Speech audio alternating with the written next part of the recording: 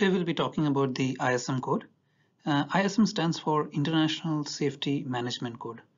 Uh, although ISM has been around for many years now, I think it was introduced in, way back in 2002 and it's been there for a number of years.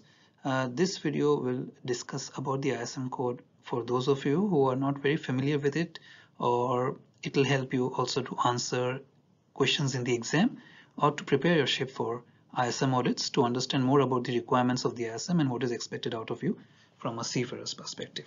All right, so let's start with the code.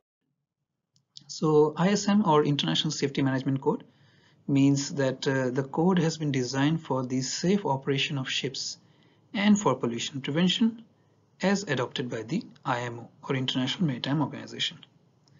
The objectives of the code are to ensure safety at sea, prevention of human injury or loss of life, and avoidance of damage to the environment, in particularly to the marine environment and to the property. ISM was introduced after the Herald of Free Enterprise incident, which sank off the port of Zeebrugge uh, once it departed the port. Now what happened with Herald of Free Enterprise was it, it, it capsized and it sunk leading to the deaths of a number of people and the main reason was that the bow door was kept open. Now the closing of the bow doors, the responsibility of that was that of one of the crew members who was found sleeping in his cabin and instead of closing the bow door, there was negligence in duty. Now to prevent any kind of negligence in duty, the ISM code was designed which basically teaches seafarers to document all their actions on board. So there are checklists associated with every operation on board so that there is no negligence. Seafarers are reminded of their essential responsibilities and there is no excuse that can be given towards negligence of duty because negligence can lead to deaths, accidents, injuries and damage to the marine environment and that's why the International Safety Management Code was introduced. The basic structure of the ISM code is divided into two parts. Part A is the implementation part. It starts with the first chapter of definitions, where the definitions of uh, the code, what it means to be, uh, what is the company, uh, means the owner of the ship, what is the meaning of administration, safety management system, document of compliance, safety management certificate, so on and so forth. So they provide with definitions. It also provides with the objectives of the code and the requirements of this code and to what what kind of ships is the code application applicable to? Part 1 or sorry chapter 1 also details the functional requirements for a safety management system where it, it details what kind of a safety management system should be developed implemented and maintained by a shipping company. Part 2 talks about safety and environmental protection policy which describes how the objectives given in part 1 can be achieved. Part 3 is company responsibilities and authority, which talks about if the entity who is responsible for the operation of the ship is other than the owner, the owner must report the full name and details of such entity to the administration or the flag state. Chapter 4 is designated persons. So basically to ensure the safe operation of each ship and to provide a link between the company and those on board the ship, every company needs to designate a person or persons ashore having direct access to the highest level of management. And that in that regard, there is a person known as designated person ashore or DPA at the company. Part 5 talks about master's responsibility and authority. So which the company should clearly define and document the master's responsibility with regarding to implementing the safety and environmental protection policy, motivating the crew in the observation of that policy, and so on and so forth. Part 6 talks about resources and personnel. So the company should ensure that the master is properly qualified, fully conversant with the company's safety management system, and given the necessary support so that the master's duties can be safely performed. There are a number of other points as well which talks about resources and personnel and how people should be aware of their duties regarding to the ISM. Part 7 talks about development of plans for shipboard operations which include checklists for key shipboard operations concerning the safety of the ship and the prevention of pollution. Chapter 8 talks about or rather part A talks about emergency preparedness where the company should establish procedures to identify, describe and respond to potential emergency shipboard situations.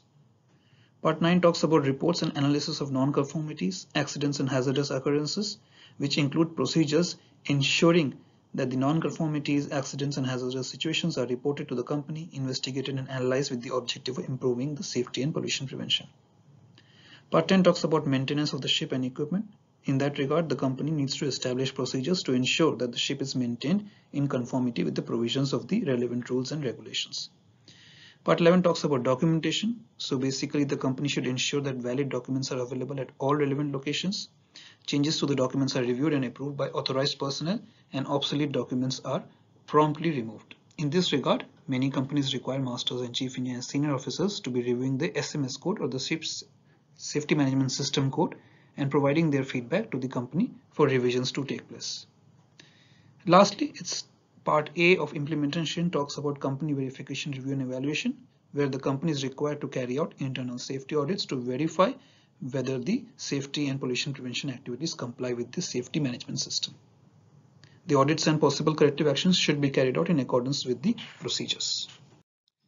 Then part B of the ISM code talks about certification and verification. In this, there is certification and periodical verification where the ship should be operated by a company which has been issued with a document of compliance or with an interim document of compliance. They talks about interim certification as well because interim certification may be issued to facilitate initial implementation of the ISM code when a company has been newly established or new types of ships are being added to an existing document of compliance.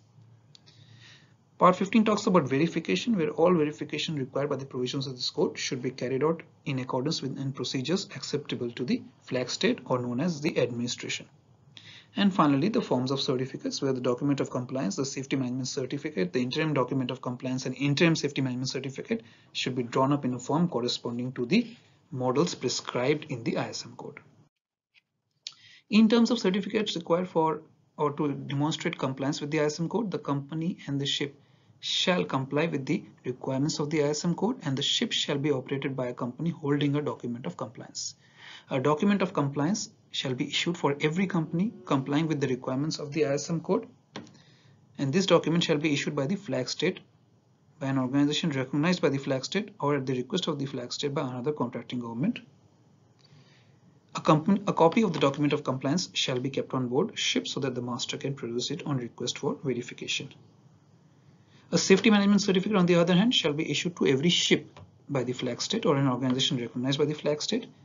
And the original copy of the safety management certificate is put up in the on the ship. It's demonstrated on the ship, and a copy is kept in the company for verification. The keys to the ISM code are the auditing process, the language of the documented procedures, the duties of the designated persons, simplicity and correction of the documented procedures, the reporting process, onboard training, and compliance with all regulations and maritime codes. If I need to explain this simply, then you must understand from a seafarer's perspective, it is very important that you do what the ISM code says and then you document whatever you do. So every action should be documented, no matter how insignificant you feel it is on the ship. So whether it's starting regular work or carrying out special procedures such as entering enclosed spaces or confined spaces or working aloft, all these actions and procedures should be documented. The language of the code or the language of the safety management system found on the ship should be simple enough for the crew to understand and follow. All crew members should be very familiar with their duties as described in the safety management system. It should be very easy to correct and revise the ISM code or the safety management system, not the ISM code, but the safety management system of the ship. If errors are found, there should be some reporting processes in place for the master or the senior officers or junior officers in case they find any kind of uh, contravention with the ISM policies. Onboard training should be not only be conducted but also be documented. There are various onboard trainings that are required to be carried as per the SMS or as per the ISM and all need to be documented. It should be ensured that all crew members are attending the training. Finally, we talk about the audit and what is inspected during an ISM audit. So if I can give it a simple explanation, anything can be inspected under ISM audit. So your whole ship comes under the ISM audit because like I said before, any action or any work that is being taken in on board is being carried out on board ships needs to be documented.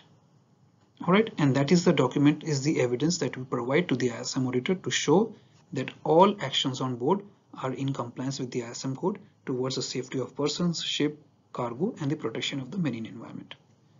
So ISM audits are carried out internally by the company and then by an external auditor as well. If they come on board, they can not only check for ISM but also your compliance with the ISPS, which is your International Security Code. So you must ensure that not only your safety systems, firefighting systems, bridge, engine rooms, passage plans, plan maintenance schedule, documentation, duties are in place, but overall your ship should demonstrate that actions are being taken place, keeping in mind the safety and security of the ship.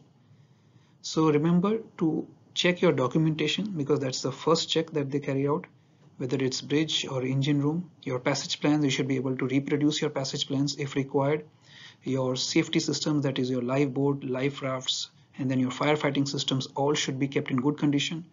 The seafarers or your crew ship's crew should be aware of their duties and not only aware but they should be able to perform the duties. There are certain universal duties like launching of lifeboats life rafts starting the lifeboat engines uh, all this should be able or starting the emergency generators or fire pumps should be known to all crew members and that is where your training comes in and once you uh, are providing the training and you're documenting the training then tomorrow if your crew member fails to perform that at least you have the evidence to show that you have been carrying out these duties and it may be a one-off thing where your crew member was unable to demonstrate the duty in front of the ISM auditor. So that is how I will summarize the audit. Like I said, the whole ship, everything comes under the ISM audit. You have to demonstrate safety in procedures, safety in operations, as well as protection of the marine environment. And that is the best way for me to describe it. So I hope this was a short video, good enough for your understanding of the ISM code. And uh, you can use this information to answer questions in the exam as well as practical application at sea. Let me know what you thought about this video. I look forward to your comments. Bye guys and study hard.